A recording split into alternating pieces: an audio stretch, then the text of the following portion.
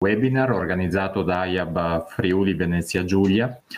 L'argomento di questo webinar sarà, come vedete dal titolo, la vagliatura delle sementi e avevamo pensato di organizzare una qualcosa eh, rivolto essenzialmente agli agricoltori, ma non solo, agricoltori eh, bio che molte volte hanno il problema di trovare delle strade alternative per il controllo delle infestanti, ad esempio, e quindi siamo partiti dalla consociazione che può essere eh, uno strumento molto utile, specialmente eh, per le aziende bio, che però pone il problema poi di una raccolta contemporanea di più eh, prodotti che hanno necessità di essere separati.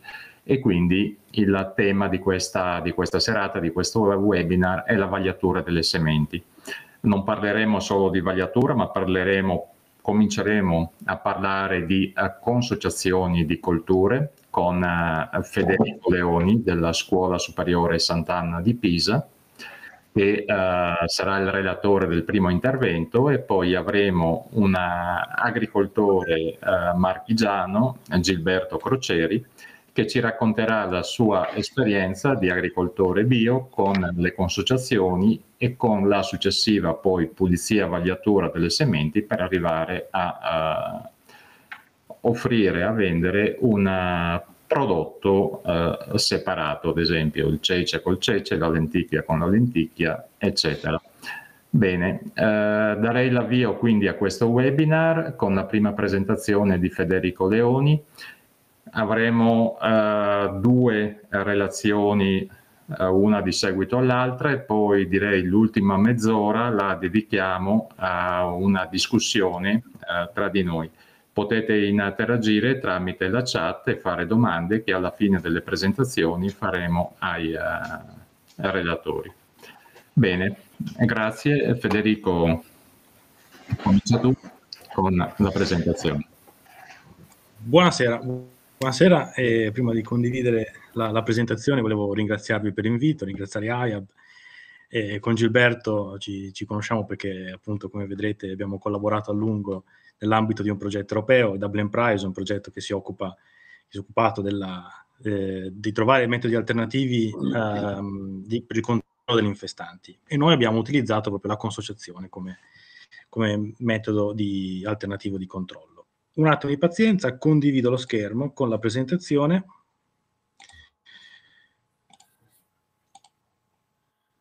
Ecco qua. Allora, se mi potete, io non vi vedo, quindi se mi date un feedback vocale se vedete la presentazione posso cominciare. Sì, sì, io la vedo. Si vede. Sì, si vede. Perfetto. Perfetto, grazie. Eh, sono Federico Leoni, sono un uh, assegnista di ricerca presso la Scuola Superiore Sant'Anna, faccio parte del gruppo di agroecologia eh, guidato dalla professoressa Anna Camilla Monen e Paolo Barberi e um, abbiamo studiato una delle nostre rami di ricerca diciamo, principali è quello della diversificazione culturale negli agroecosistemi, e quindi tutto ciò che riguarda le consociazioni, l'utilizzo di pacciamature vive diciamo, è nostro oggetto di, di studio. Partiamo proprio da, dalla base, e dalla definizione, chiaramente forse tutti quanti voi sapete di cosa sono, cos'è una consociazione, cosa vuol dire consociazione.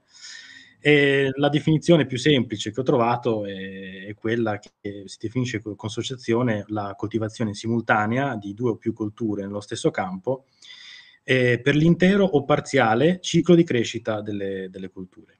Ovviamente la eh, tecnica della consociazione può essere applicata in tantissimi sistemi agricoli, quindi dai cereali alle specie orticole, come potete vedere dalle foto eh, sulla sinistra, e noi scegliamo di eh, adottare una pratica di consociazione perché vogliamo ottenere eh, dei vantaggi. Questi vantaggi sono i più, diciamo, eh, anche eh, spiegati scientificamente dal, dalla letteratura scientifica, sono sicuramente il controllo degli infestanti, perché come vedete è un sistema di consociazione, noi non abbiamo, non lasciamo il terreno, perlomeno, non, perlomeno in avanzato, negli stadi insomma, eh, più avanzati del ciclo culturale, non lasciamo mai il terreno eh, vuoto, mm, abbiamo sempre una copertura vegetale eh, di piante a noi favorevoli, come in questo caso qua di leguminose, che permettono di controllare in modo efficace le, le, infestanti, creano una sorta di barriera fisica dove la luce non penetra e come sappiamo molto spesso le infestanti, soprattutto quelle a ciclo annuale, eh, hanno bisogno di certe condizioni per la germinazione, certe condizioni che non sono create dalla prese- che non vengono appunto favorite dalla presenza di, di, una, di, una, di un, una, leguminosa appunto come, come pacciame. Quindi controllo infestante è sicuramente una dei vantaggi principali di, questo, di, questo, di, questa pratica agronomica.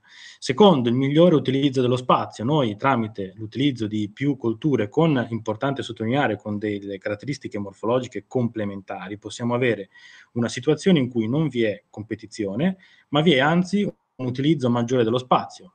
Un esempio tra tutti è il trifoglio sotterraneo in consociazione, ad esempio, con, con il frumento. Abbiamo delle caratteristiche morfologiche tra queste due eh, culture che sono assolutamente diverse ma complementari. Uno è strisciante, ha bisogno di poca luce, il frumento invece, come sappiamo, ha un portamento eh, eretto e invece va in cerca di, di luce.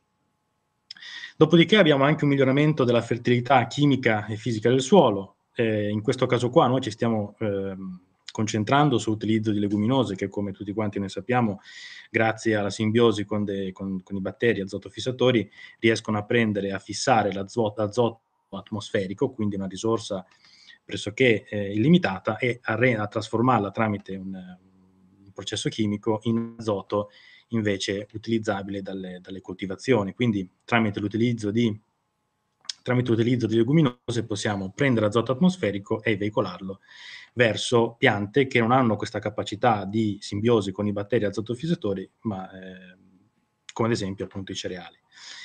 Eh, però diciamo che i vantaggi legati alla fertilità del suolo non si fermano semplicemente a questo fatto della, della simbiosi con eh, batteri diciamo positivi, ma ehm, abbiamo visto che ad esempio la, la copresenza di leguminose con, con, con, cereali, ma in generale la, la copresenza di più specie insieme eh, creano tutto quanto un micro, microambiente nel, vicino all'apparato radicale, nella rizosfera, eh, in cui vi è una, ad esempio un abbassamento del pH, quindi anche una maggiore disponibilità di, di fosforo, che è un elemento, ad esempio, molto limitante, so, che può essere un elemento limitante ai nostri terreni, in particolare se ci riferiamo a sistemi biologici. Poi abbiamo un supporto della biodiversità grazie alle consociazioni, che è importantissimo, ora al di là di tutto quanto ciò che accade a livello radicale, quindi di biodiversità di microrganismi, abbiamo sicuramente anche tutta quanta una biodiversità di insetti, di, di insetti insomma, che hanno un effetto positivo e eh, che aiutano poi nel controllo anche di, di eventualmente di, di, patogeni, ma anche in, in modo in, indiretto anche nel controllo degli infestanti. C'è uno studio recentemente pubblicato, ad esempio, che ha visto come in presenza di living mulch la, la, presenza di insetti che predano semi di infestanti aumenta in modo significativo rispetto a un sistema più semplificato. E poi abbiamo anche una stabilità di produzione, perché se è vero che spesso, ma non sempre, di conseguenza una consociazione abbiamo un abbassamento di produzione almeno di una delle due componenti della, della consociazione, in realtà se noi sommiamo la produzione di una componente più la, la seconda, abbiamo sempre una, una, una situazione eh, più stabile per quanto riguarda le produzioni, perché magari abbiamo una, un anno in cui abbiamo delle condizioni ambientali che favoriscono un tipo, una, cultura rispetto all'altra e viceversa, quindi abbiamo il famoso effetto insurance, quindi un effetto diciamo assicurazione. I pericoli. Se la scelta delle, delle, delle colture da eh, mettere in, in consociazione non è fatta in modo eh, adeguato, ehm, ci, si possono presentare dei pericoli di eh, competizione. Ad esempio, se noi mettiamo, nel caso, se noi mettiamo ad esempio in consociazione un trifoglio con una, una cultura invece po- poco competitiva, come può essere ad esempio la barbabietola da zucchero, in quel caso hanno osservato chiaramente la, che questo tipo di sistema può portare a, delle, a, delle, a un effetto di competizione. Sicuramente poi abbiamo più specie in campo con necessità differenti e quindi sicuramente con un sistema di consociazione andiamo a, ad aumentare la complessità del sistema e quindi anche la gestione del sistema stesso diventa più difficile, si richiedono talvolta a gran voce dei macchinari adatti per questi sistemi, sembra impossibile, ma una seminatrice con, ad esempio, due tramogge per poter mettere due tipi di colture diverse sono estremamente eh, difficili da trovare sul mercato.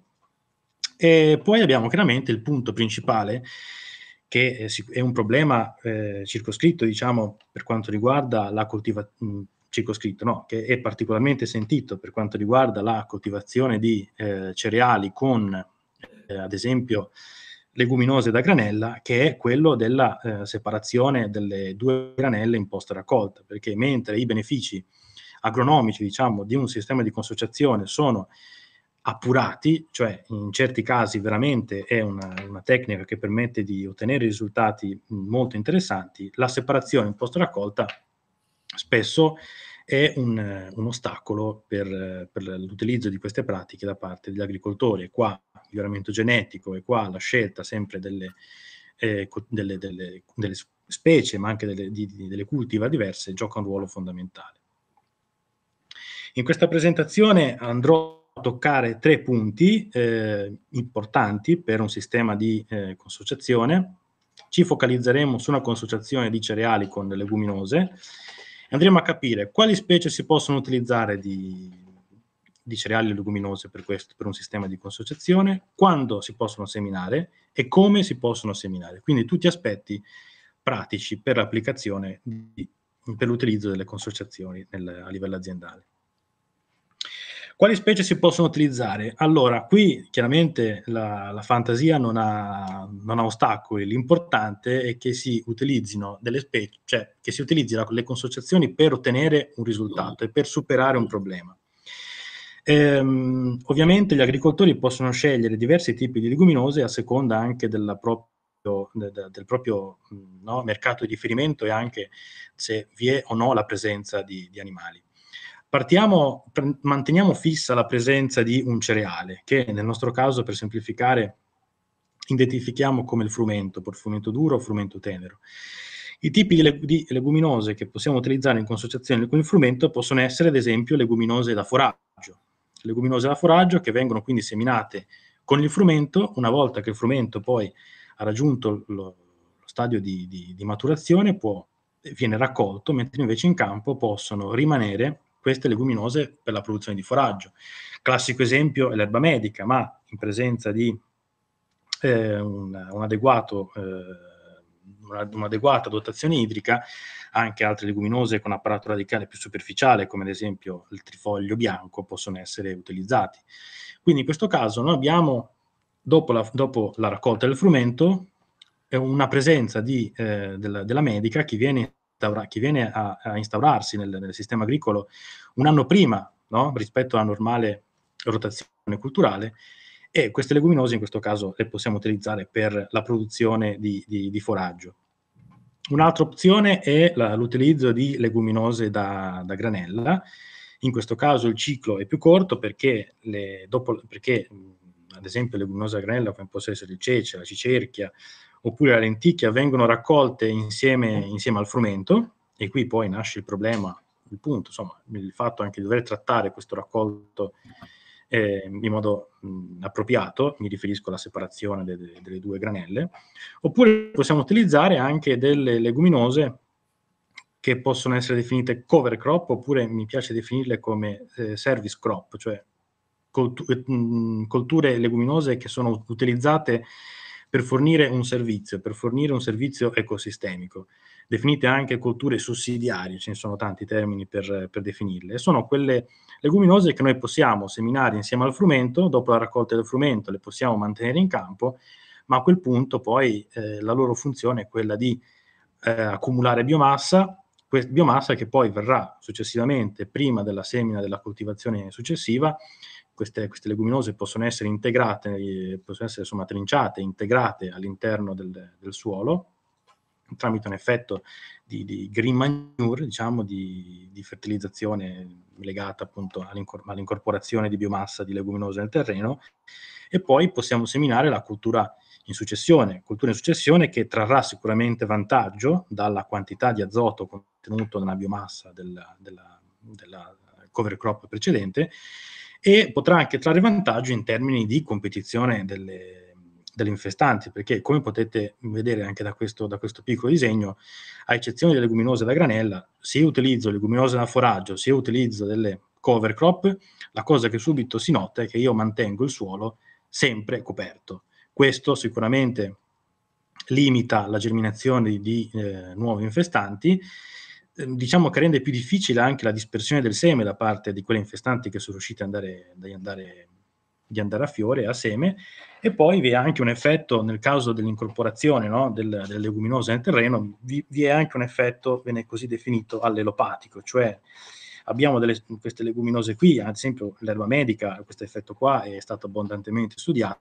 che hanno delle sostanze, fenoli oppure anche delle sudati radicali, che, eh, flavonoidi, che riescono in qualche modo a inibire o quantomeno rallentare la germinazione eliminazione delle infestanti ed ecco che le culture in successione quindi possono trarre vantaggio da questo sistema. Ovviamente ci deve essere una eh, selezione no, di eh, leguminose adatte. Se voi guardate ad esempio la foto in basso a destra, questa è una sperimentazione che abbiamo condotto al centro di ricerche Enrico Avanzi a San Piero a Grado, vicino a Pisa. Ecco, come vedete, questo è il sorgo, e abbiamo studiato un sistema, no, di, di, un sistema simile alla, alla, a quello che vedete come insegnato come cover crop o service crop. Cioè abbiamo valutato l'effetto residuo di diverse leguminose seminate in consociazione con il frumento.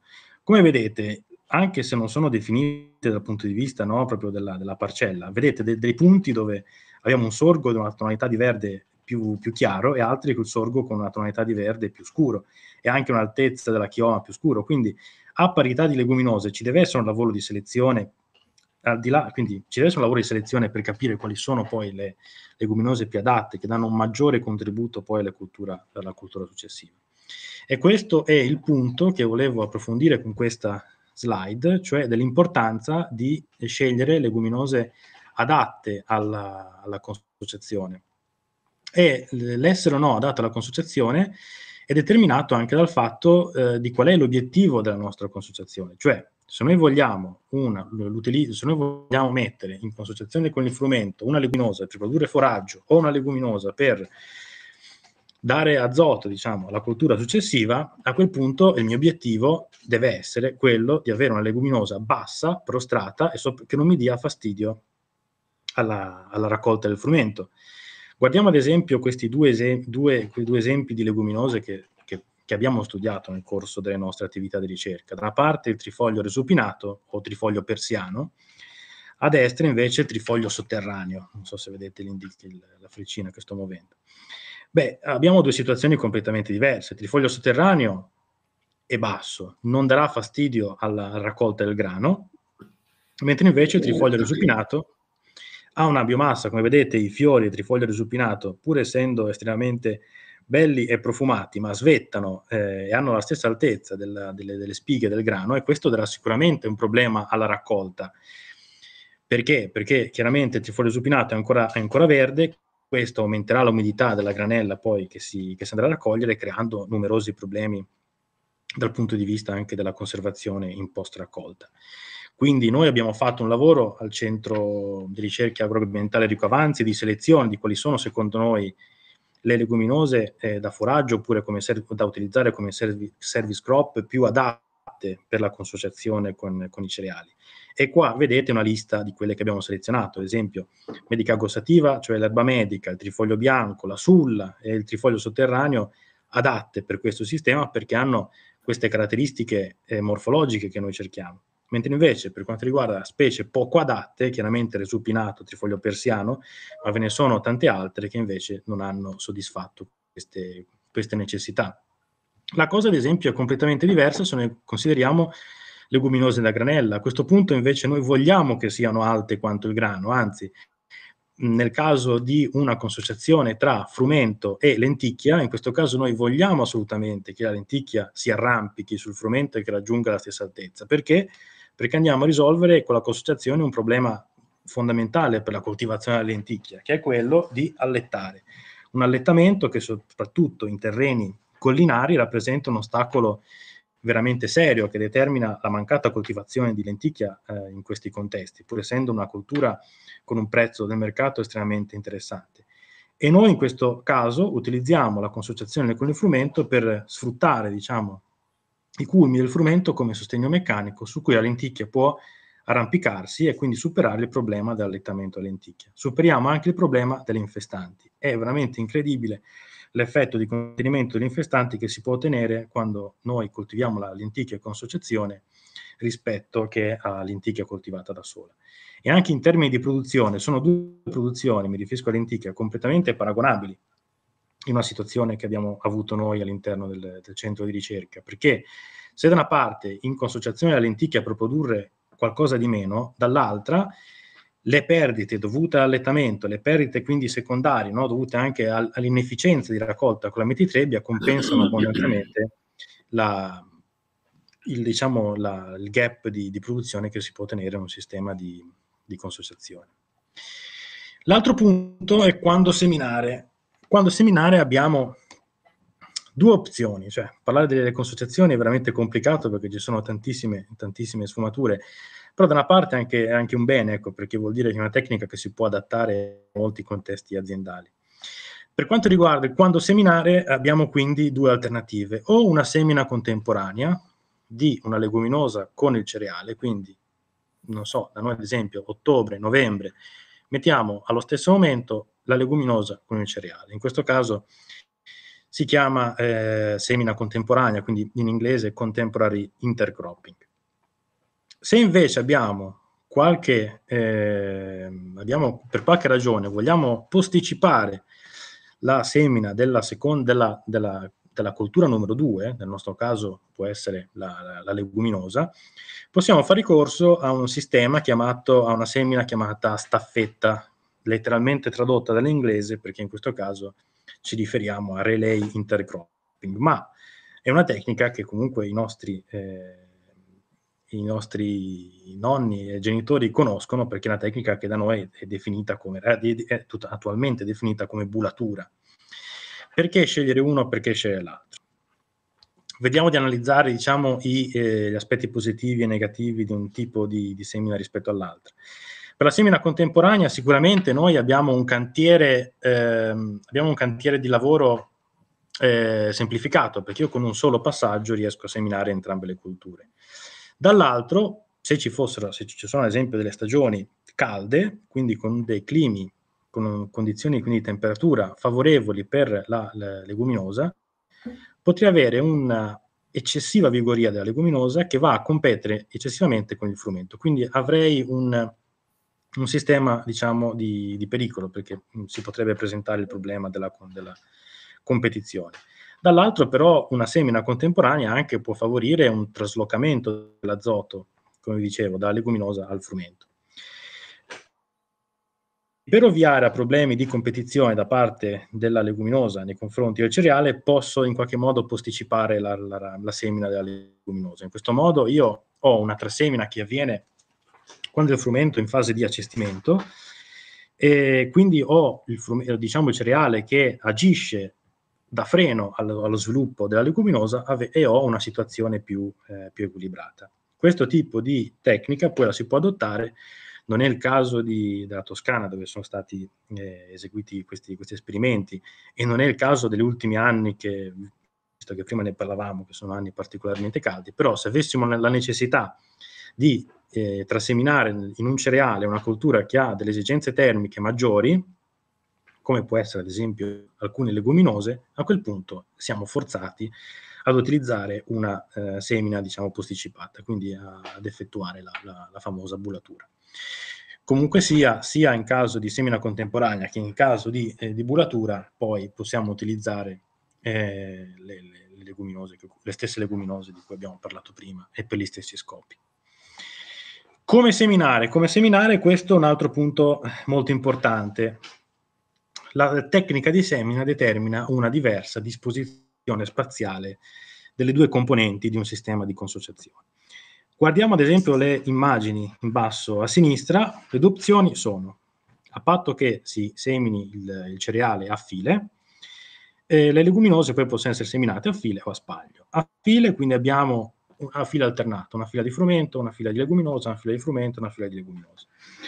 In questo caso l'idea è quello di massimizzare la distanza tra le due, tra le due culture e quindi quella di limitare il più possibile la competizione per delle risorse limitanti.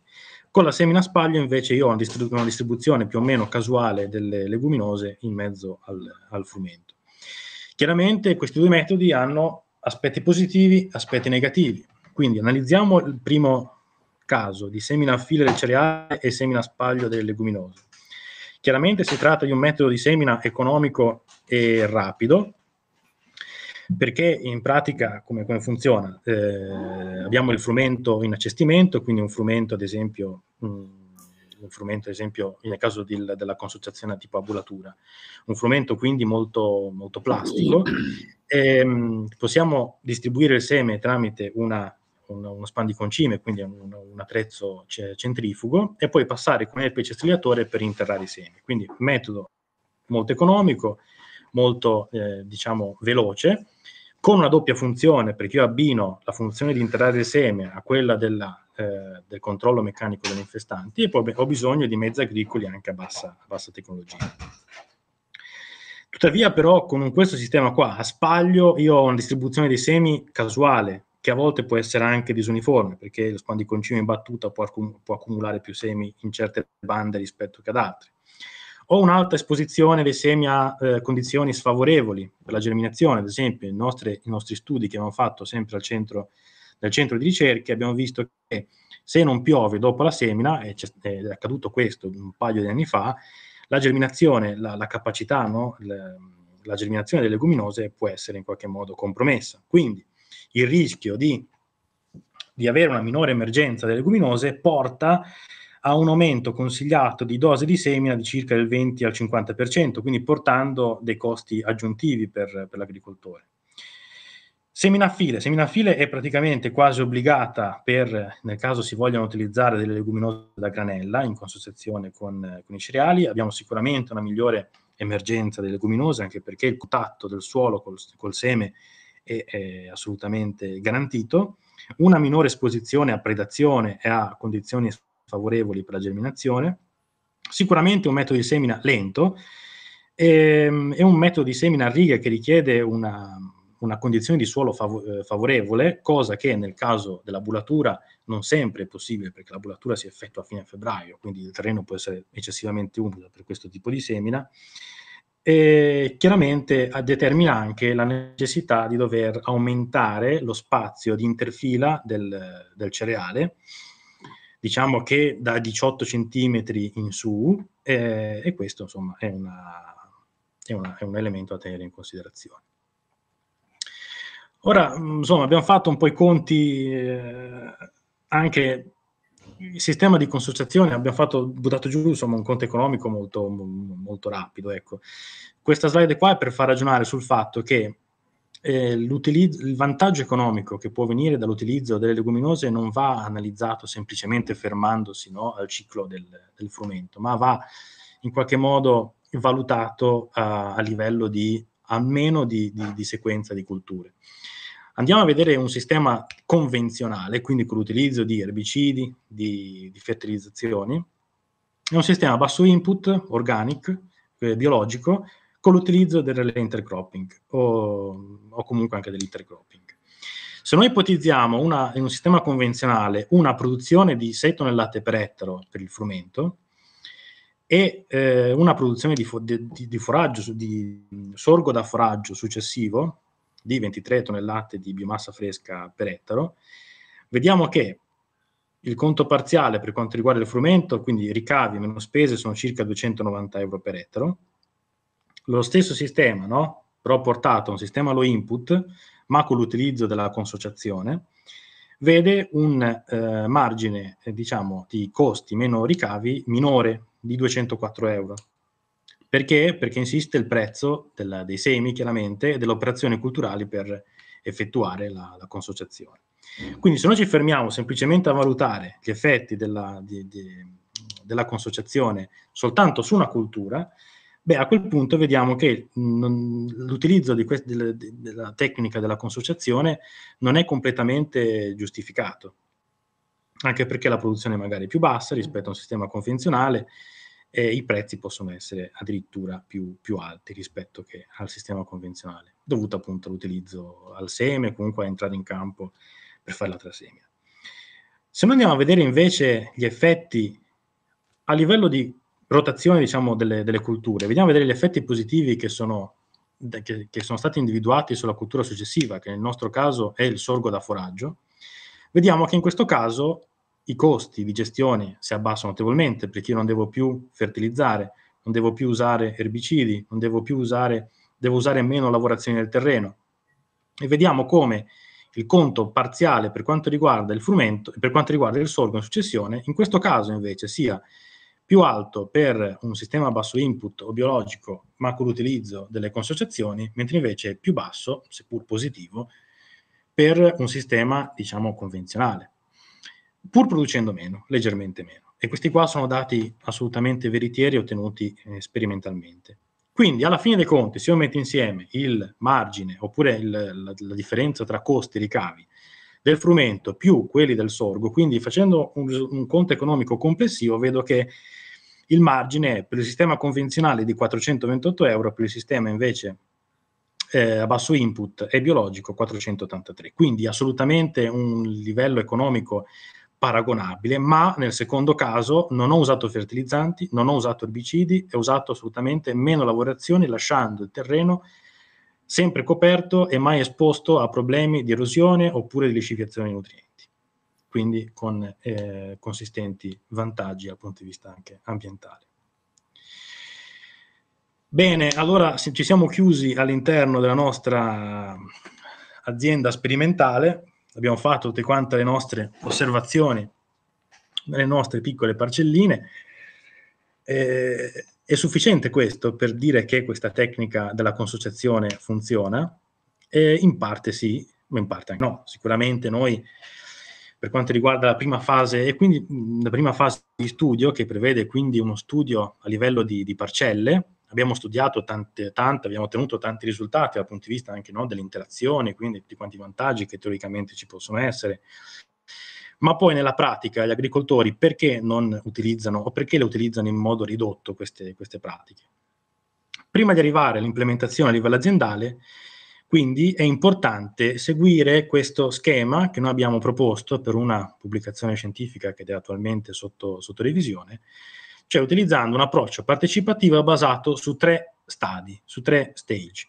La prima fase è quello, quindi siamo nelle nostre parcelle, vediamo che la cosa funziona, abbiamo la, la, possibilità, abbiamo la fortuna di poter provare tantissimi tipi di leguminose, come esempio nel nostro caso, ne abbiamo trovate qual- alcune che sono particolarmente promettenti, per il trasferimento tecnologico portiamole, eh, testiamole a un livello intermedio. Quindi abbiamo preso le nostre leguminose, inclusa la lenticchia, e le abbiamo provate poi a livello di, eh, di campo, sempre però all'interno dell'azienda sperimentale. Quindi come vedete siamo nello stage 2, abbiamo fatto un campo intero con frumento e lenticchia in consociazione, abbiamo seminato il frumento con lenticchia con delle seminatrici aziendali della Maschio Gaspardo, abbiamo eh, raccolto il frumento con la lenticchia assieme con una sola passata con una metitrebbia John Deere, eh, quindi commerciale, abbiamo visto comunque che alcune di queste pratiche che abbiamo provato in parcella e applicate poi su scala più grande possono avere quindi un, possono avere un futuro perché eh, portano una serie, tutta una serie di vantaggi agronomici, hanno confermato no, gli stessi vantaggi agronomici che abbiamo visto in quegli studi a livello di parcelle. Quindi siamo pronti per poter chiedere alle aziende se sono interessate a, a voler fare un po' di pratica con, eh, queste, con queste, pratiche della, della, consociazione.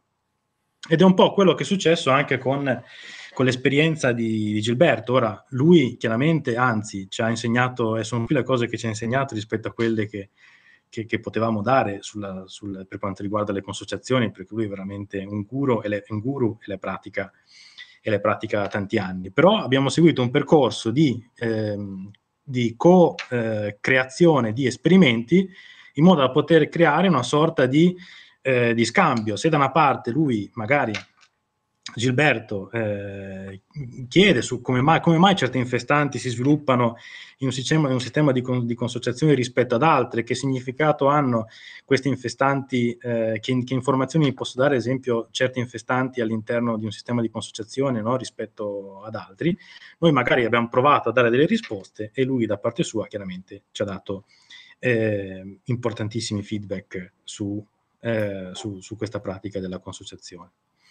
Quindi eh, da questo momento in poi, a questa fase di, di, di, trasferimento tecnologico che è nata questa collaborazione con l'azienda agricola La Viola eh, nelle Marche, in, nel bellissimo contesto delle colline marchigiane di Torre San Patrizio, dove abbiamo poi ci siamo focalizzati sulla consociazione del frumento con la lenticchia. Abbiamo fatto un esperimento a livello veramente molto vasto, si parla di di, di, Ettaro, dove praticamente insieme a Gilberto ci siamo posti qual era il punto eh, da, da, da, indagare maggiormente su, questo, su, questa pratica agricola. E quindi siamo concentrati sul fatto di trovare il miglior rapporto, la miglior dose di semina tra frumento e lenticchia in modo che si massimizzasse la produzione delle, delle coltivazioni e si rendesse efficace eh, e massimizzasse anche il controllo delle infestanti. Lo abbiamo intervistato questa è proprio la foto, quella che vedete, la foto dei campi sperimentali. Sono strisciate, strisciate lunghe più di 800 metri, e, ehm, no, eh, di, sì, 80 metri, non 800 metri, 80 metri, dove ogni strisciata abbiamo provato una combinazione diversa di, di frumento, non so, di, 25 kg di frumento con 100 kg di, di lenticchia e così via, una combinazione fattoriale. E utilizzando questo QR code eh, potete vedere un'intervista che abbiamo fatto poi a Gilberto dove lui poi vi può eh, trovate appunto dei dettagli maggiori rispetto a questa, rispetto a questa esperienza. Quindi da parte mia, eh, scusate se mi sono stato un po' troppo lungo, ho terminato, ma lascio la parola a, a Gilberto, che sicuramente sarà un piacere ascoltarlo. Grazie. Grazie a te.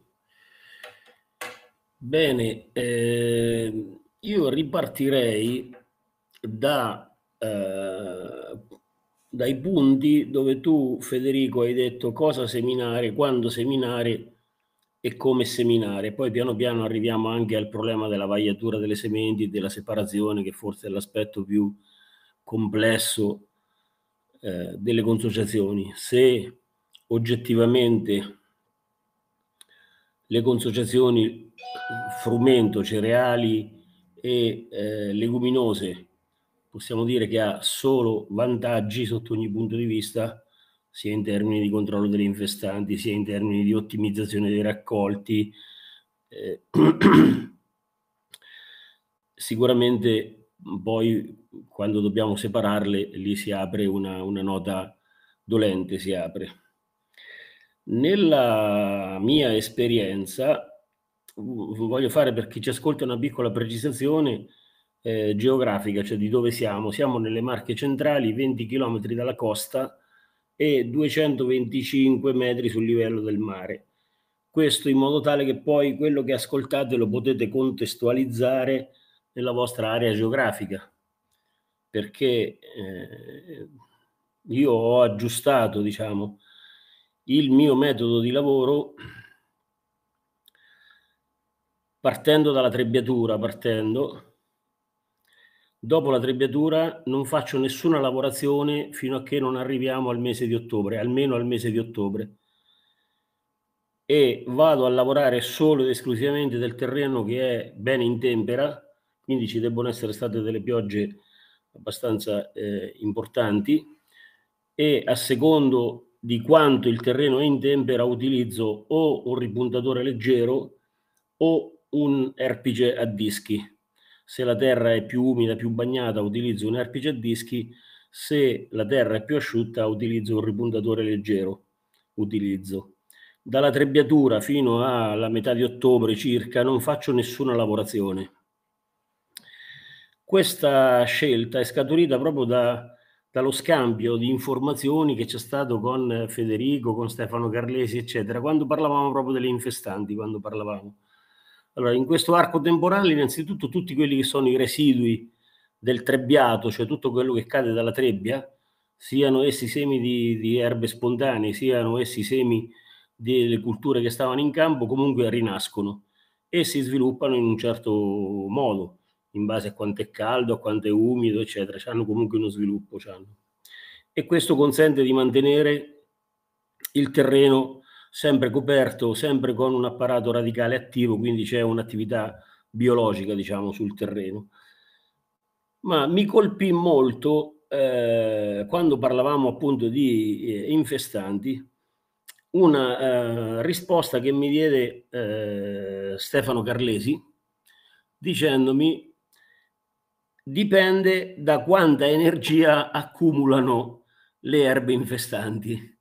E io ci ho riflettuto molto su questa storia, nel senso che se c'è un arco di tempo in cui la temperatura esterna, la temperatura stagionale, eccetera, favorisce lo sviluppo di determinate erbe, di determinata vegetazione, favorisce, perché c'è appunto un accumulo di energia, perché c'è una condizione favorevole, ma se alla fine di questo accumulo di energia io vado a stoppare il loro ciclo, anche le poliennali, per quando riprendono vigoria, ammesso che abbiano ancora in serbatoio delle energie di scorta, eccetera, eccetera, per quando riprendono la loro vigoria, le culture che io ho seminato, cioè quello che ho messo in campo, ha già comunque un vantaggio competitivo, se non altro in termini di altezza.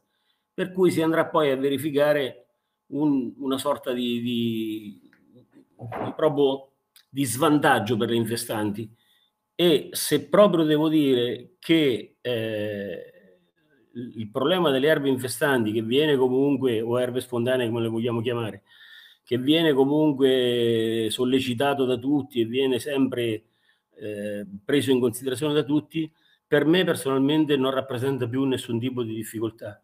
Ho dei campi pulitissimi, ho dei campi, eh, perché il, la, parte spontanea inizia a prendere forza quando le culture già hanno una, una situazione sul campo eh, molto molto consistente, hanno coperto bene.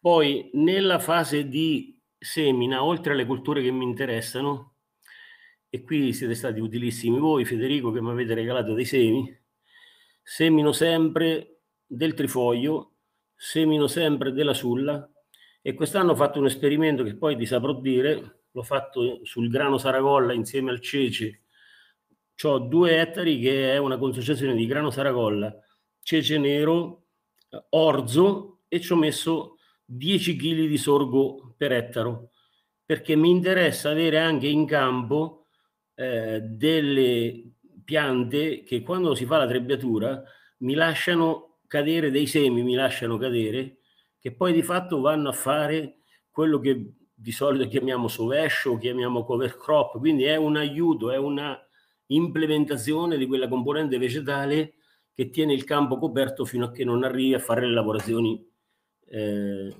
per la semina.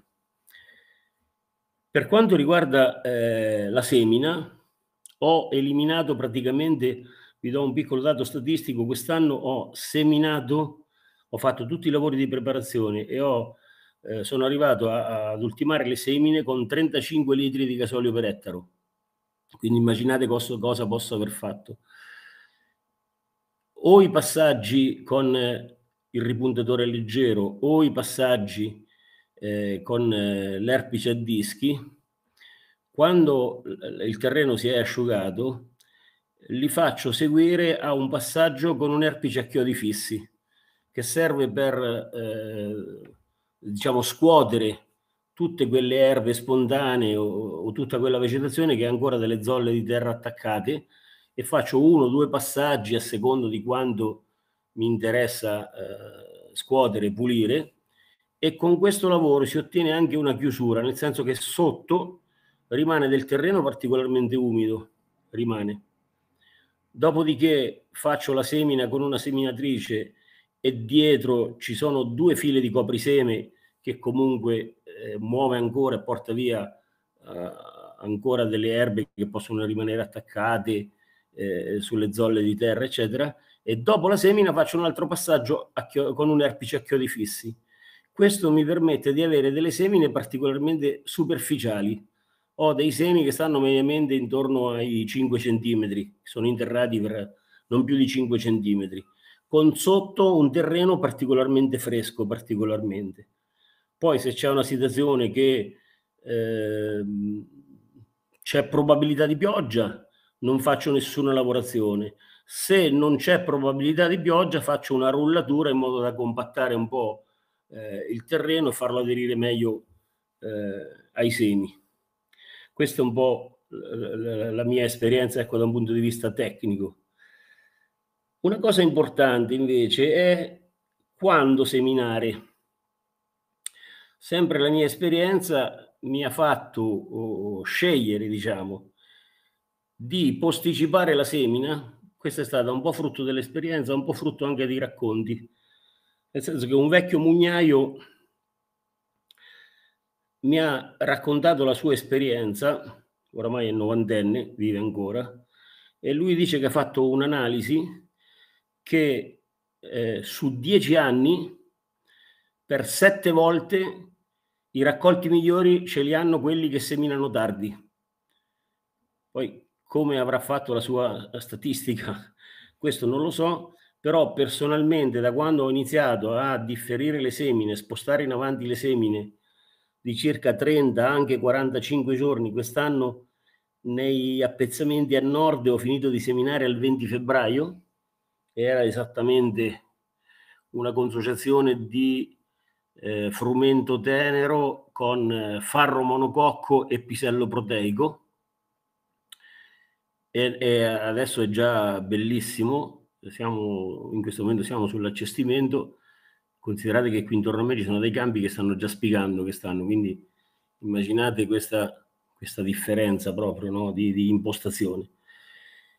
E seminando insieme con, con, Federico, lo sa perché l'abbiamo utilizzata, questa seminatrice con doppia tramoggia, eh, mescolando eh, i legumi con i cereali, praticamente si ottiene un spostamento in avanti e quindi un accorciamento del ciclo del frumento che se semini a, novembre c'hai novembre, dicembre, gennaio, febbraio, marzo, aprile, maggio, giugno e qualche volta anche luglio, quindi so, sono nove mesi.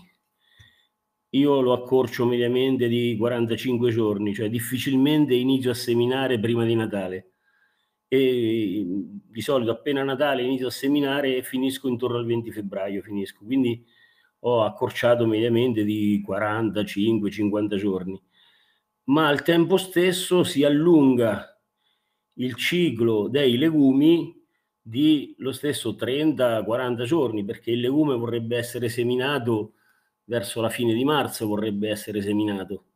Invece in questo caso andiamo a seminare eh, molto prima.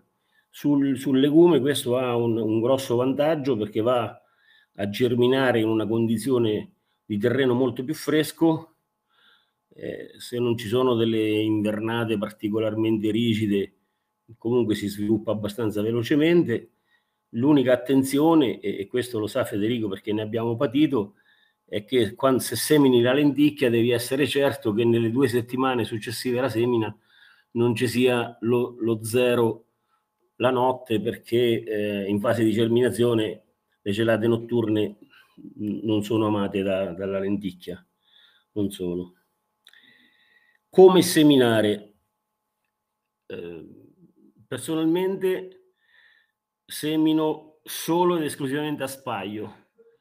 Ho tolto tutto dalle seminatrici, ho tolto cannelli, dischi, falcioni, eccetera. Quindi il seme cade e oggettivamente si vede eh, lo spaglio, eh, cioè il campo seminato a spaglio e il campo seminato a righe, si vede a vista d'occhio insomma la, la differenza.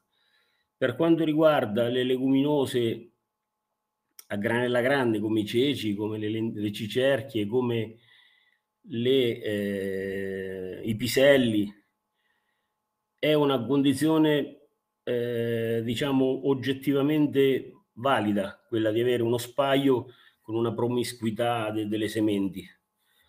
Sulla lenticchia mi sto facendo delle idee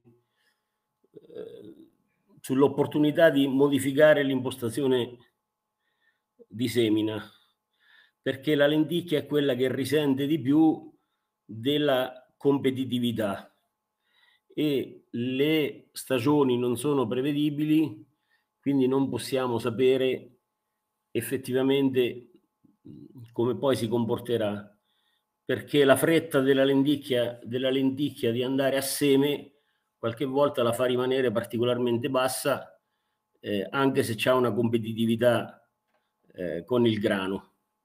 E mi sono fatto l'idea oramai che sarebbe meglio in, in mezzo al grano seminarla o a righe rade ma molto fitte su, sulla fila o addirittura trovare un sistema per fare e ci sto studiando sopra, ci sto, per fare dei piccoli cespi, per fare che fossero anche a quinconce, dove ogni volta che cadono i semi cade in un punto circa un cucchiaio di semi di lenticchia, perché ho notato che la, ho notato casualmente, tante volte la macchina eh, si occlude qualche distributore, eccetera, e mi sono accorto che dove eh, cadono più semi tutti quanti insieme, cadono e la lenticchia ha un altro comportamento, cioè il, il, il cespo, quando si forma il cespo eh, c'è una sorta di mutualità probabilmente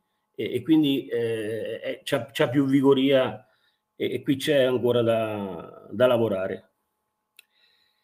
Adesso passerei subito alla nota dolente della separazione che probabilmente se abbiamo detto che le consociazioni hanno, e Federico ne ha fatta una disamina molto precisa e molto puntuale, possiamo quindi dire che ci sono solo vantaggi che ci sono da un punto di vista ambientale, da un punto di vista della biologia del terreno, da un punto di vista dell'ottimizzazione dei raccolti, dal punto di vista della eh, diciamo, copertura del rischio culturale, nel senso che le stagioni sono imprevedibili.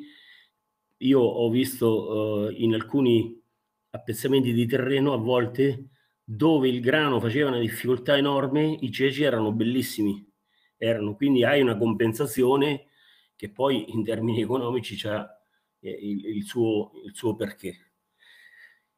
E se le leguminose, quelle con la granella più grossa, quindi i ceci, che siano bianchi, che siano neri, le cicerchie o il pisello, sono abbastanza semplici da separare perché anche macchine molto vecchie, tipo io ho una vecchia Marot, una macchina che probabilmente avrà almeno 90 anni, sì, ho fatto delle piccole modifiche, ma eh, la macchina riesce a separare benissimo eh, l'orzo ho, aggiustato dei trabatti, quindi si, si tolgono prima tutte le, le, granelle grandi dei legumi, poi sotto la macchina separa agevolmente l'orzo, il frumento facendo diverse scelte, quindi puoi recuperarlo sia per seme che comunque poi per macina, per fare delle farine o per fare...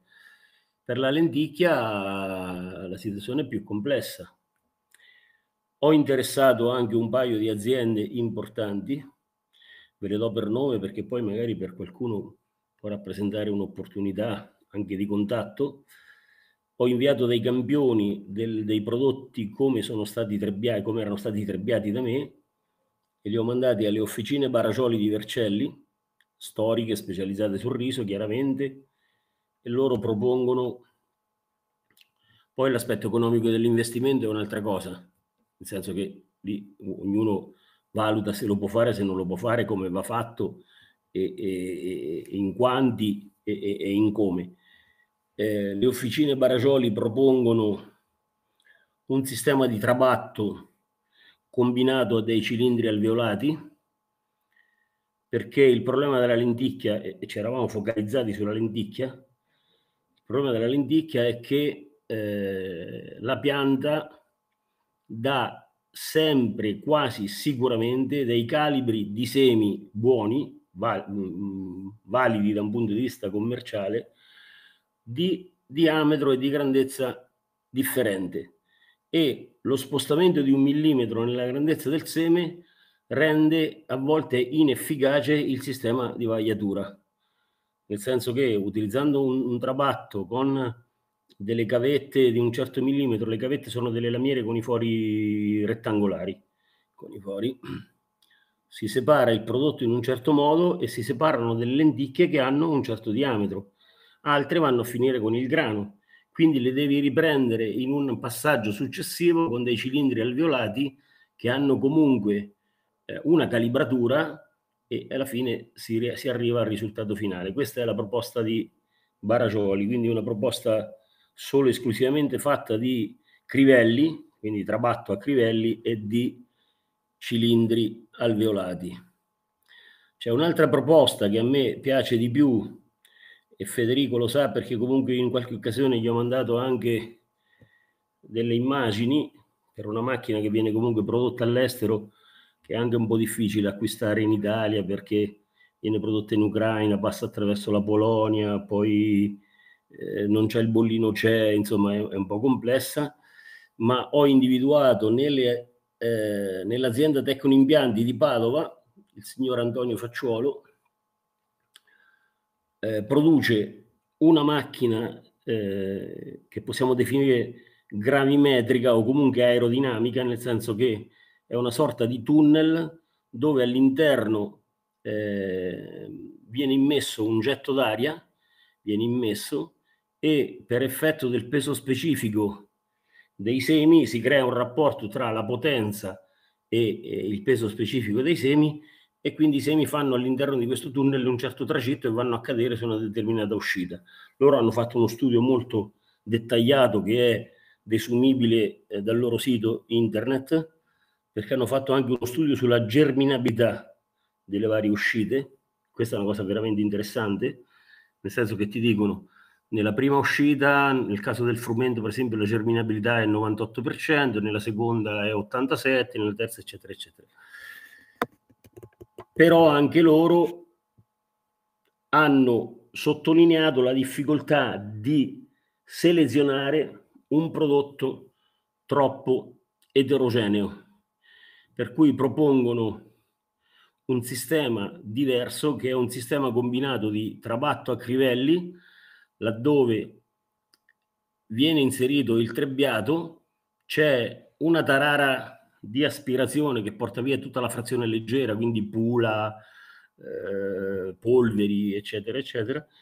Eh, c'è un crivello che porta via determinati diametri di semi, che porta via, e da questo primo passaggio si ottiene una massa un po' più omogenea che viene immessa nel tunnel eh, con, con la spinta dell'aria e con un passaggio, due passaggi, a secondo di come è il prodotto, si ottiene eh, una separazione, secondo me, accettabile del prodotto.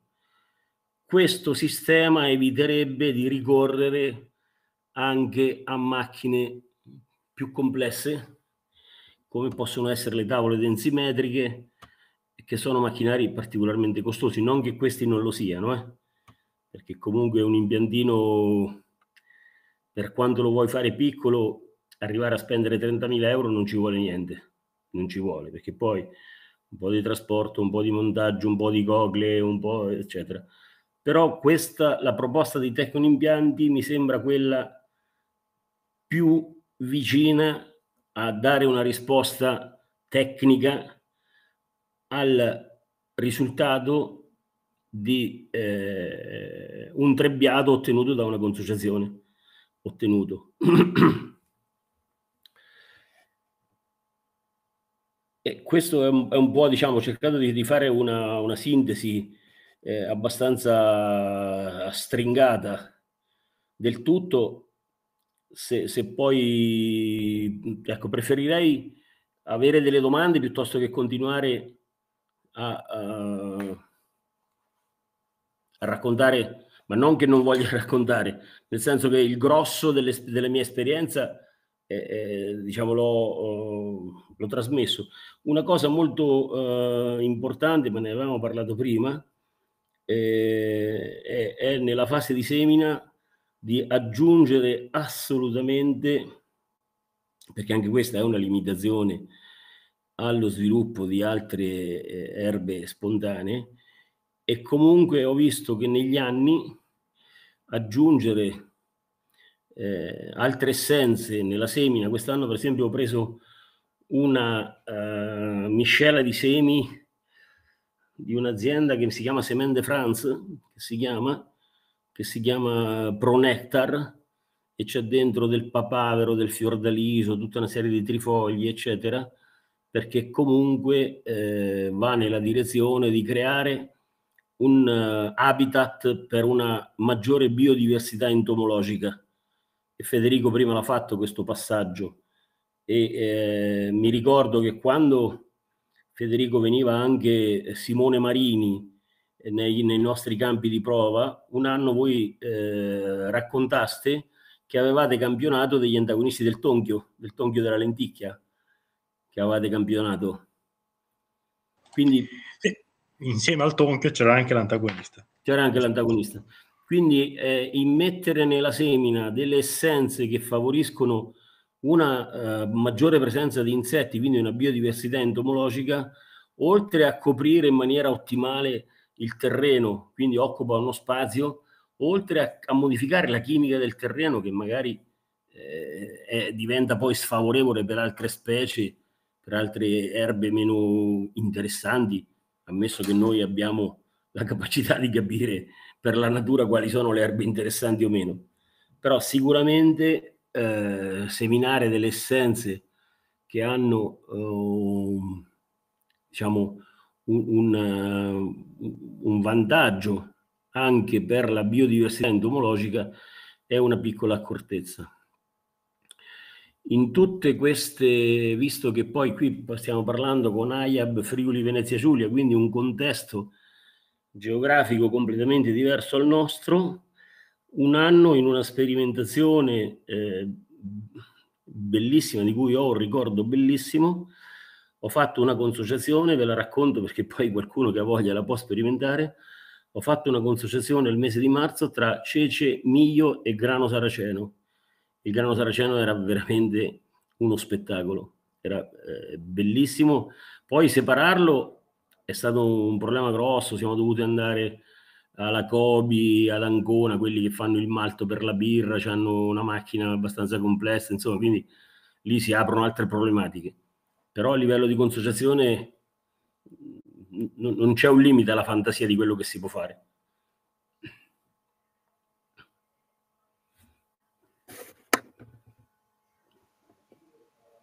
Eh, grazie Gilberto, grazie Federico. Allora mi intrometto per eh, ricordare che se ci sono delle domande da parte di chi ci ascolta le può fare in chat e, e dopo ne aggiungerò anch'io visto che qui in Friuli è da un paio d'anni o qualcosa di più che stiamo sperimentando con associazioni di concetti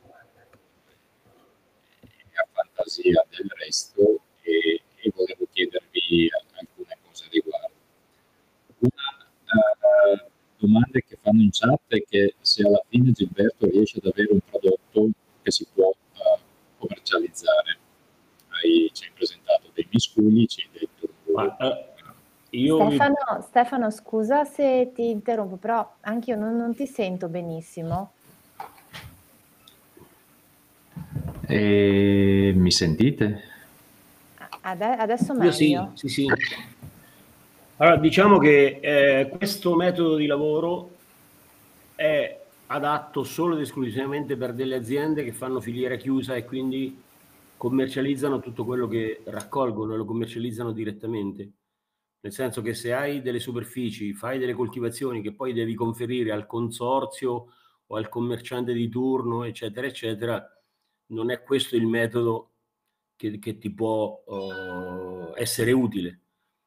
Eh, poi in base al risultato eh, della, della, coltivazione eh, c'è un po' da eh, aggiustare il tiro strada facendo per capire che cosa chiede il mercato, il tuo mercato di riferimento, che cosa vuole in termini alimentari e quindi uno si indirizza a seminare delle cose che può poi, eh, a cui può dare un valore in termini di commercializzazione diretta. Però ti dico, fatta eccezione per la lenticchia, per il resto eh, veramente con, con, poca attrezzatura si riesce a diventare indipendenti e diventare. Non ci vuole um, una, grande, una grande cosa. È chiaro, io ho un'azienda di 10 ettari, per cui cioè, non è che parliamo di, di, di chissà, cioè, noi raccogliamo circa 350-400 quintali di granelle all'anno tra frumento, ceci, lenticchie, cicerchi, eccetera. Quindi e lo commercializziamo tutto, lo commercializziamo. C'è un po' da lavorarci, c'è un po' da... ogni tanto si fa qualche piccolo investimento. Abbiamo desistito dal fare l'investimento di un impiantino di pulizia e ripeto, eravamo orientati sulla proposta di Tecnoimpianti di Ospedaletto di Padova, abbiamo desistito dal farlo, ma semplicemente perché un tipo di investimento del genere ci avrebbe spinto inevitabilmente verso il conto terzi, altrimenti eh, hai, hai, bisogno di troppo tempo per rientrare. Cioè se, fai, se investi 50.000 euro per un impiantino e poi non fai 2.000, 3.000 quintali di conto terzi che ti fa rientrare velocemente dell'investimento, hai voglia... Uh, poi per il resto siamo indipendenti su tutto, siamo indipendenti per macinare, siamo indipendenti per confezionare, quindi non, non abbiamo, siamo indipendenti per decorticare, quindi non abbiamo grosse... Mh, Gilberto, se poi mi permetti di aggiungere una cosa, hai toccato Scusa un punto estremamente... Suonando, ecco, no, ho spento il telefono che mi stava suonando, scusate. Dimmi, Hai toccato un punto secondo me estremamente importante con cui io poi parlavo anche con Stefano quando, qualche, qualche ora fa per fare le prove tecniche di collegamento.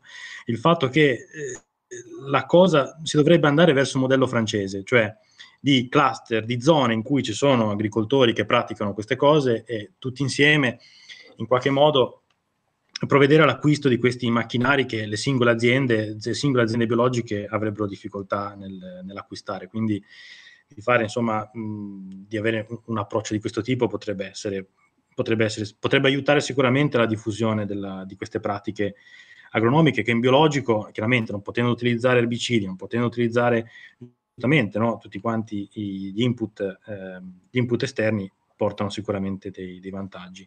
L'immagine che vedete comunque in questa slide, spero che voi la vediate, è comunque un'immagine che avevamo preso da, da Gilberto stesso, quindi il risultato Mm, lui mi pare che in questo caso abbia fatto parecchi passaggi per la pulizia, o non mi ricordo quanti passaggi per la pulizia della lenticchia. Comunque il risultato che si ottiene è questo. Facciamo, lo facciamo con una ballarini con due tamburi alveolati che purtroppo adesso ce l'hanno rotta e non me la esatto. fanno usare. Comunque, due... grano è praticamente pulito. Il problema eh, risiede nel piccolo grano, eh, nel grano più piccolo, più striminzito, insomma, che rimane insieme alla lenticchia, come se guardate bene l'immagine si vede che c'è un forse 3, 3% eh, di, di, grano che rimane a lenticchia. Ma perché nella lenticchia ci possono essere delle vecce, ci può essere il latirus, ci può essere... Quindi, eh.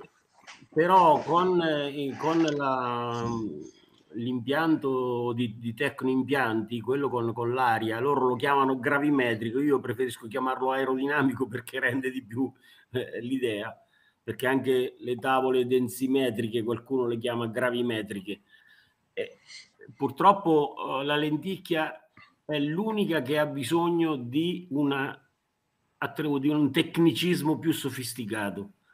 E eh, la, eh, la, proposta di Tecnoimpianti secondo me è quella che è più vicina a risolvere il problema perché magari se devi fare un passaggio, due passaggi, questo non è un problema perché la macchina ha un settaggio anche di turbolenza, puoi gestire la turbolenza all'interno del tunnel e credo che possa, loro mi hanno fatto delle prove, mi hanno mandato delle foto e oggettivamente devo dire che è quella la, la soluzione, cioè con quello che costa una tavola densimetrica ci fai tutto l'impianto, ci fai.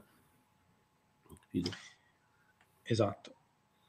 E... Però eh, qui, io qui voglio fare un po' eh, come dire di sindacalismo, voglio fare.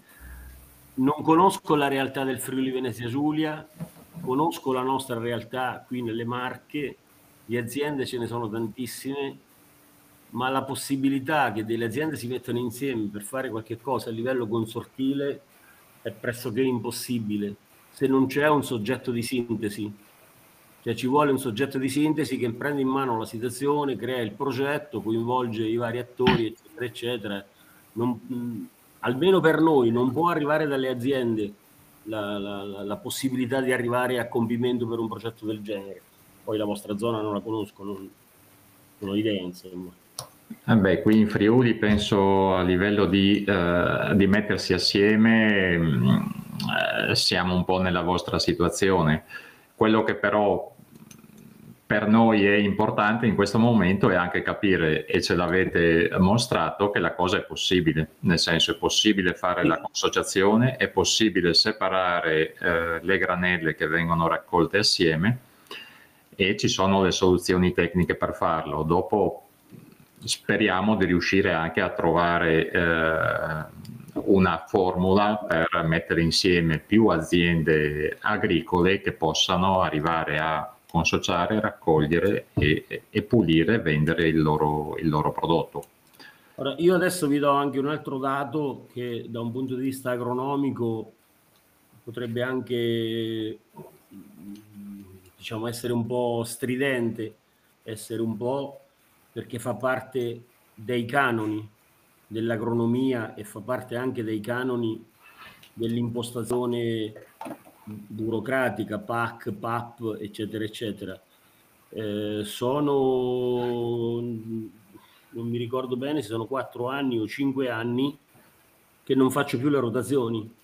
Praticamente da quando faccio le consociazioni eh, conosco abbastanza bene i, i, miei terreni, so qual è il tipo di umidità, com'è l'esposizione, eccetera, e cerco di far girare il legume, di far girare poi laddove ho qualche difficoltà perché il terreno non risponde, perché noi siamo in una zona di terre molto forti, in alcuni punti siamo proprio su delle argille, siamo, eh, tant'è vero che ho eh, i, i, di, i primi semi di sulla che mi portò Federico un anno, non mi ricordo, stato tre anni fa, quattro anni fa, eccetera, eh, oramai hanno colonizzato delle, delle, delle fasce di, di terra argillosa e sono presenti lì e resistono anche a delle su, lavorazioni superficiali, resistono.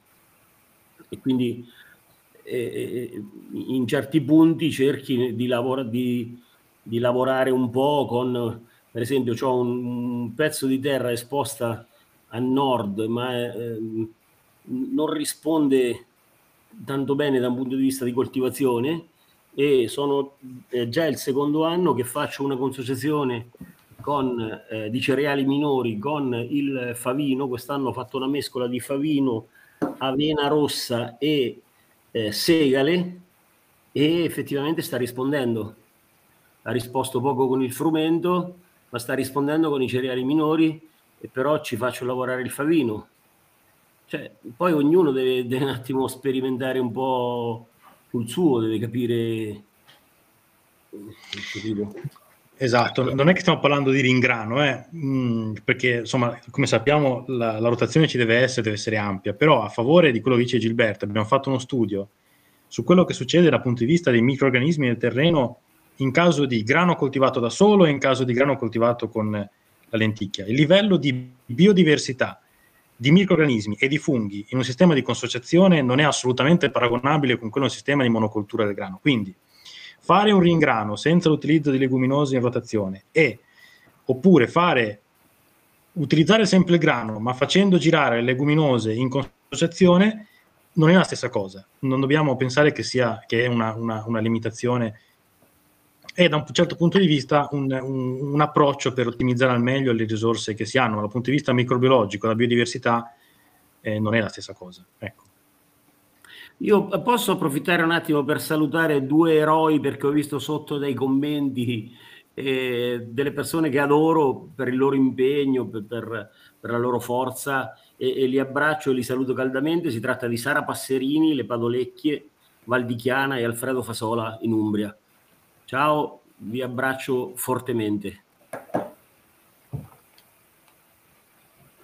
Bene, c'era uh, il signor Fasola, mi pare, chiederei a Serena. Alfredo è, è, è l'azienda agricola Torre Colombaia in Umbria e Sara Passerini sta in Val di Chiana, il podere Le Padolecchie. È gente che fa cose bellissime con grande coraggio. Eh, sì, c'è una domanda di Sara. Non so se l'avete già... Sì, sì, eh, penso di sì, che sia quella nel caso della consociazione tra Cece, Emilio esatto. e Saraceno, come si, si, si è riusciti o, o, se si può coniugare i diversi tempi di, i diversi cicli vegetativi e tempi di maturazione che possono essere diversi. Io prendo come riferimento la Pasqua, qui c'è sempre un po' di detto popolare che dice che o alta o bassa l'invernata fino a Pasqua. Quest'anno per esempio avessi dovuto fare questo tipo di consociazione sarei andato a seminare verso la fine di aprile. Sarei andato.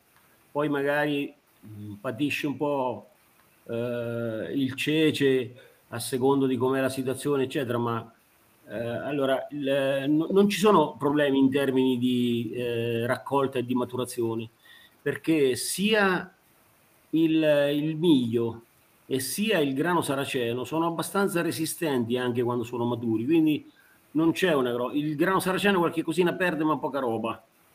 Quindi mm, poi dopo ecco, bisogna, bisogna vedere all'atto pratico il, il, tipo di terreno che uno ha, il tipo di meccanizzazione che ha, insomma, ma mm, io l'ho fatto in un punto piuttosto fresco, l'ho fatto seminando verso la fine di aprile, mi sembra, in un, un punto, un fondovalle, perché il grano saraceno, se incontra una situazione di, sacci, di siccità, c'è caso che ti fiorisce a 15 cm da terra. Ha una fretta di andare a seme che è impressionante. Ha una fretta. Quindi bisogna tenere conto un po' anche delle, delle caratteristiche delle piante, quelle che sono... Sì. Però, bisogna fare le prove, bisogna provare. certo, una, una, delle cose che avevamo visto qui in, uh, a Friuli da quando c'è, oh, visto che ci sono alcune macchine a disposizione per lo sfalcio e l'andanatura, e se vanno magari come il saraceno che continua una maturazione scalare, o c'è questa possibilità di uh, in estate, quindi di sfalciare, andanare, lasciare in campo se il tempo lo permette per... Uh, per seccare il tutto e dopo trebbiare. Solo se avete dei trebbiatori che hanno delle barre pick up, altrimenti fate un, sì. un disastro. Cioè se c'è un trebbiatore che ha una barra pick up, le barre pick up lavorano al contrario, prendono da sotto e tirano verso l'alto, mentre invece l'aspo della trebbia tradizionale ha una rotazione in avanzata che abbassa, eh, no? E, e, ma però taglia quello che è ancora in piedi, che è ancora in essere come cultura mentre invece se tu hai sfalciato, allora, l'andanatura è sempre una pratica che ti fa perdere prodotto, che ti fa perdere. Bisogna vedere qual è la condizione, se c'è una condizione di sole, se non c'è, se riesce a seccare, quante erbe infestanti c'hai in mezzo alla coltura, però la condizione di avere una trebbia con una barra pick up è fondamentale il sistema pick up è lo stesso che hanno le presse, quelle per fare eh, il fieno che fanno. Sì. Nel senso hanno questi eh, aghi che lavorano al contrario e tirano su e portano dentro, portano, prendono dal basso e portano verso l'alto. Quindi è sempre una questione di meccanizzazione. Io personalmente, prima di iniziare le consociazioni, facevo lo sfalcio, facevo, eh, la lenticchia la sfalciavo con una vecchia motofalciatrice con una BCS e poi facevamo una sorta di andanatura, ma il prodotto ne perdi tantissimo, ne perdi. Ehm, sì. La, la, possibilità di trebbiare il prodotto in piedi in consociazione è sicuramente una condizione ottimale. È meglio lavorare sulla soluzione di, di come separarlo che non di come trebbiarlo. Certo. Ehm, c'è il signor Alfredo, dovrebbe avere il microfono eh, attivato, quindi se voleva fare una domanda lo pregherei di, eh, di approfittarne. E in Intanto... C'è una domanda, su, su, c'è una domanda sulle produzioni per ettaro. Eh. Diciamo che in consociazione tra legume e cereale mediamente facciamo 30 quintali. Facciamo. Poi qualche volta c'è più grano, qualche volta c'è più... Ecco, il cece ti dà un po' di più rispetto... La lenticchia è la, la coltura più critica in assoluto perché su 10 quintali di lenticchia che raccogli di prodotto commercializzabile, se va bene ce ne stanno 60, perché ha una scalarità di fioritura che è maggiore rispetto anche ad altre leguminose, è maggiore. E gli ultimi semi sono di solito sono vacui, non sono... Sì, sì, vengono scartati eh, esatto. da un impianto aerodinamico. Ecco perché dicevo che questo sistema di lavoro è adatto solo ed esclusivamente per aziende a filiera chiusa che trattengono tutto il valore aggiunto del prodotto. Cioè, noi il grano lo maciniamo, vendiamo la farina, non vendiamo il grano. È chiaro quindi che il, il valore aggiunto del prodotto cambia. Cioè, I ceci li vendiamo come ceci già da scaffale o come farina o... In pianura volevo aggiungere che nel contesto produttivo di Gilberto e collinare, quelle sono le produzioni in pianura, eh, il frumento siamo sulle 4 tonnellate e mezzo, in linea con il livello di produzione locale per la pianura pisana, e la lenticchia arriviamo a 0,8 tonnellate, senza differenza, tra, senza differenza potenziale tra eh, frumento inconsociato e lenticchia da sola. Però la lenticchia da sola è allettata, ha un sacco di infestanti, quindi dal punto di vista pratico la raccolta delle lenticchie sicuramente sarebbe più difficile rispetto che ah. a quella consociata. C'è anche una, un'altra piccola precisazione da fare perché poi ecco le cose da raccontare sarebbero tante. Noi non facciamo nessuna concimazione, non facciamo né organico né, né ammesso né non ammesso, assolutamente niente. Perché se facessimo un investimento di 200-300 euro per ettaro di concimazione sicuramente avremmo un aumento della, della produttività. Però abbiamo fatto quattro conti che va bene così. Sì, probabilmente anche meno infestanti negli anni, credo. Ma questa è più una scelta ideologica, è una scelta, nel senso che poi ognuno a casa sua i conti li fa come, come meglio crede, insomma, cioè nel senso non è, è un dogma questo. Noi non facciamo concimazioni, non facciamo. Beh, sempre con produzioni di tutto rispetto comunque. E, ehm, volevo chiederti, o chiedere a tutti e due, quest'anno, eh, sempre parlando dei Friuli, in uh, diversi posti dove è stato seminato il cece, eh, abbiamo poca esperienza, ma uh, ci sembra insomma che non abbia tutta questa voglia di uh, emergere per cui eravamo in dubbio se aver sbagliato epoca di semina, se aver sbagliato profondità, se aver uh, così. Uh... Allora, uh, il cece vuole pochissima. Adesso vi racconto gli aneddoti della cultura popolare. Mia madre dice che il cece vuole sentire il suono delle campane, vuole sentire. Quindi deve avere sopra due centimetri, tre centimetri, non di più però secondo me il problema del cece per voi sono le temperature. Non so se, se eh, che storia ha il territorio in termini di coltivazione dei ceci, perché i ceci vogliono dei terreni calcarei e vogliono temperature abbastanza, vuole l'asciutto, la siccità. Eh, noi i terreni calcarei ce li abbiamo, eh, l'asciutto quando lo abbiamo seminato non sempre magari sono terreni a volte freddi e umidi. Se, se i terreni sono molto freddi e umidi c'è caso che il cece marcisce prima di nascere? Eh, infatti abbiamo, sì, ci siamo... Lo stesso, difetto, lo stesso difetto ce l'ha il favino.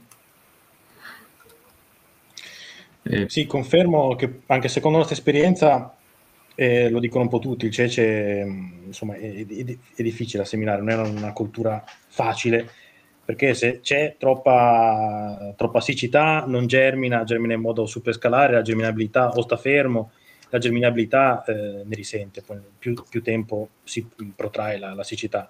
Con l'umidità chiaramente marcisce, e ora stiamo studiando se è meglio una semina del cece autunnale o primaverile, perché il freddo non dovrebbe essere un grosso problema per, per il cece.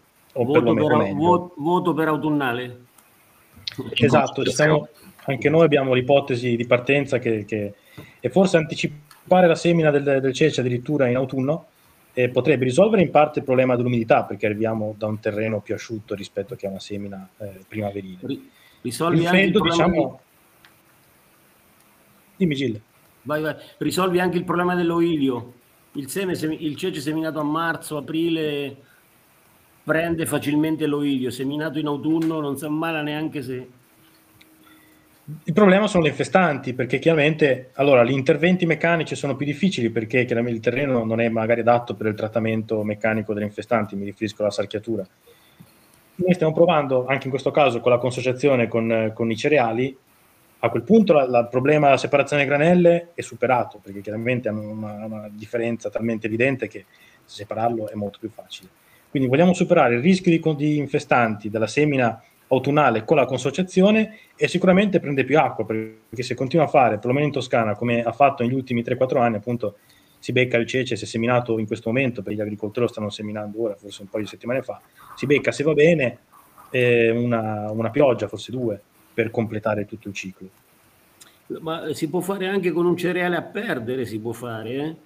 nel senso fai una semina con l'orzo, fai un cece con l'orzo, alzi un po' il dosaggio di semina dei ceci, abbassi un po' quello dell'orzo, perché ti serve dell'orzo semplicemente per drenare acqua, per, per asciugare un po', per asciugare, e poi non ti interessa se ce l'hai l'orzo ce l'hai, se non ce l'hai non fa niente. Io lo, lo, lo definisco semina con il cereale a perdere, io qualche volta l'ho fatta, capito? Però nel frattempo c'hai il controllo delle infestanti, c'hai l'orzo non è molto competitivo, quindi ti puoi un po' avvantaggiare sulle densità. Ecco, una cosa che non abbiamo toccato è sulle densità di semina. Io ho alzato in maniera significativa, ho, ho alzato il, le, dosi di semina.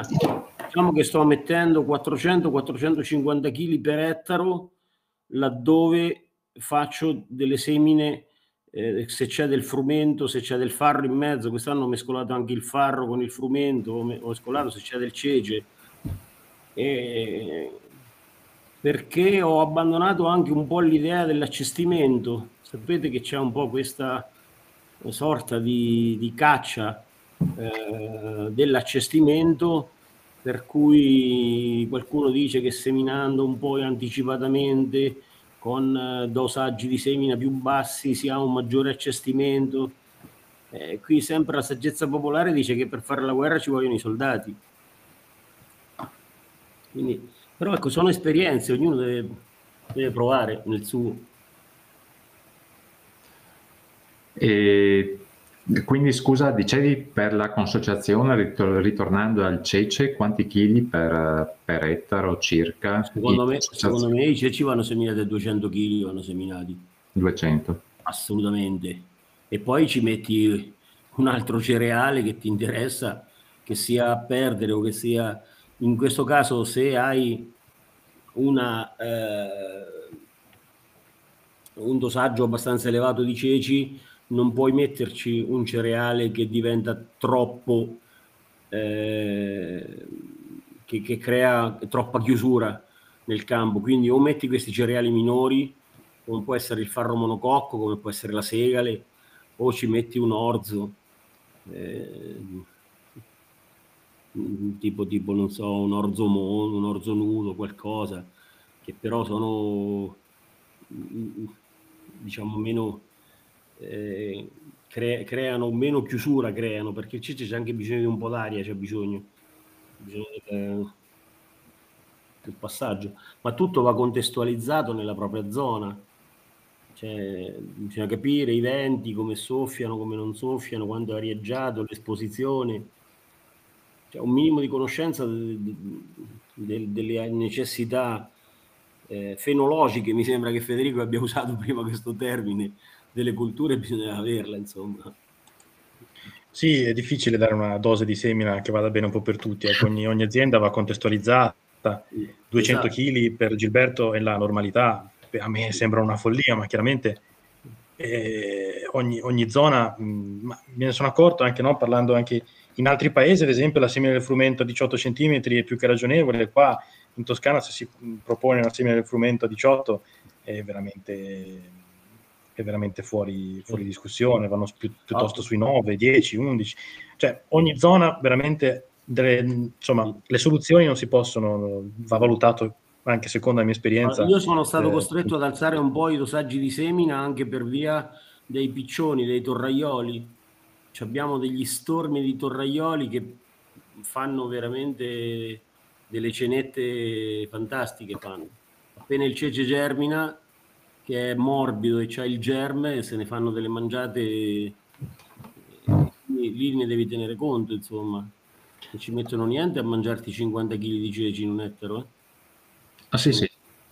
È il primo anno che abbiamo provato, insomma, abbiamo avuto degli appezzamenti puliti dai, um, dai colombi, insomma. Qui quelli che fanno l'alto leico, il girasole, a volte lo seminano due volte, eh?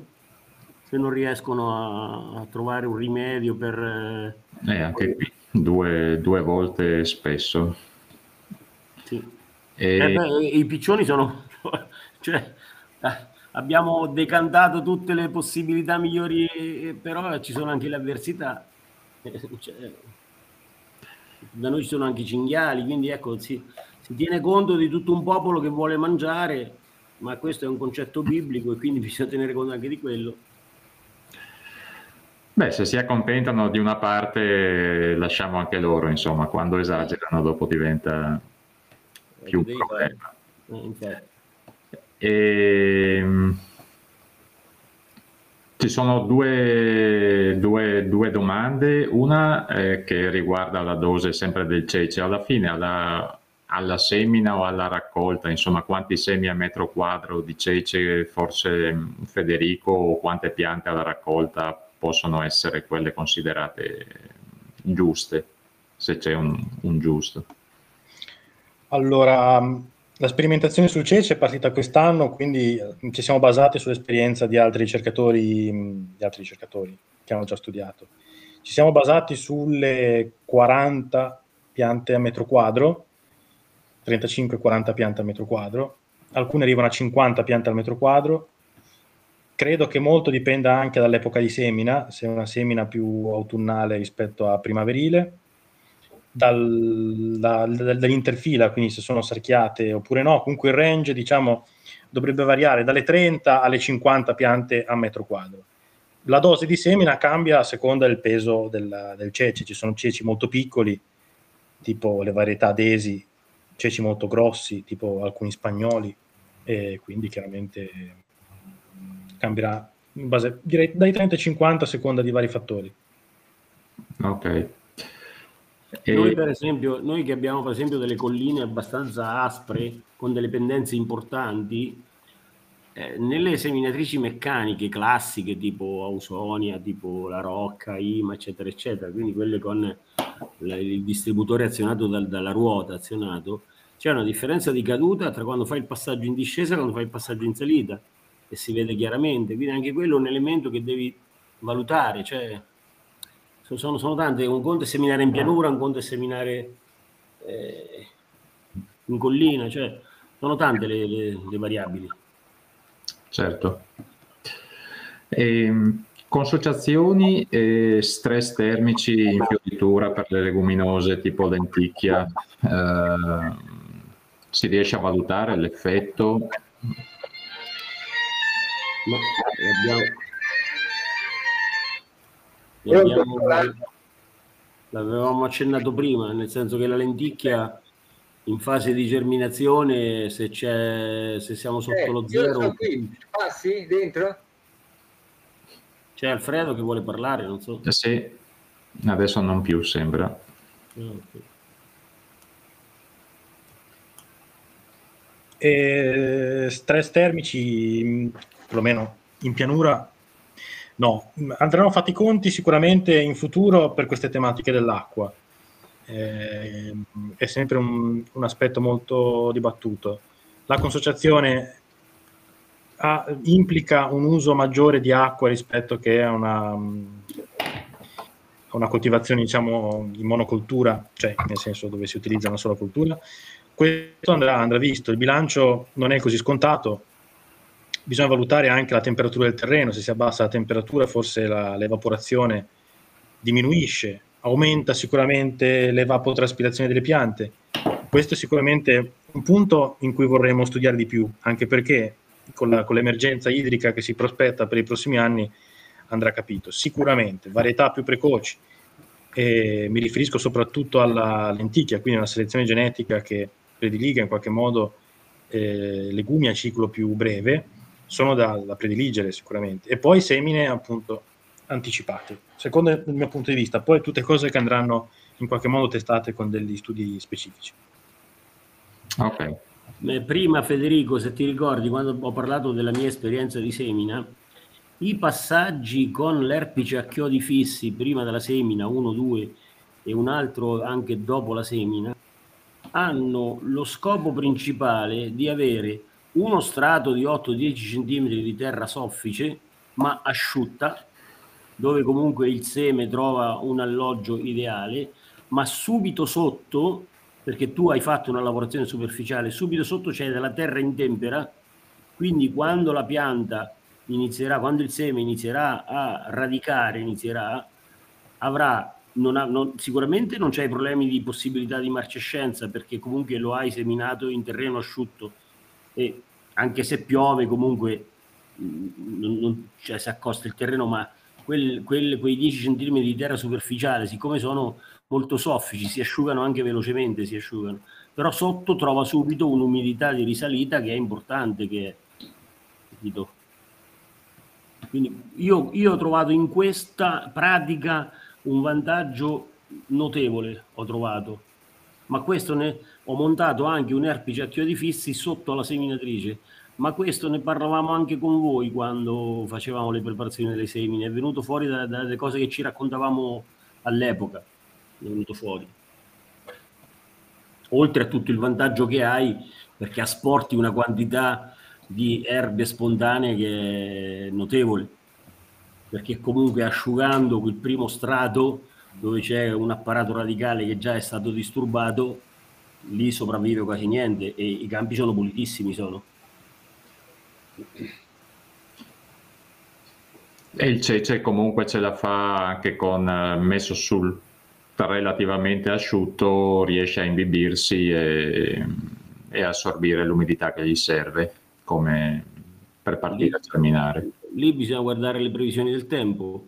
Se, se c'è pioggia breve lasci stare, se non c'è pioggia breve devi rullare perché comunque deve avere la terra un po' più vicina in modo che prende dell'umidità di risalita e, e quindi si imbibisce e germina.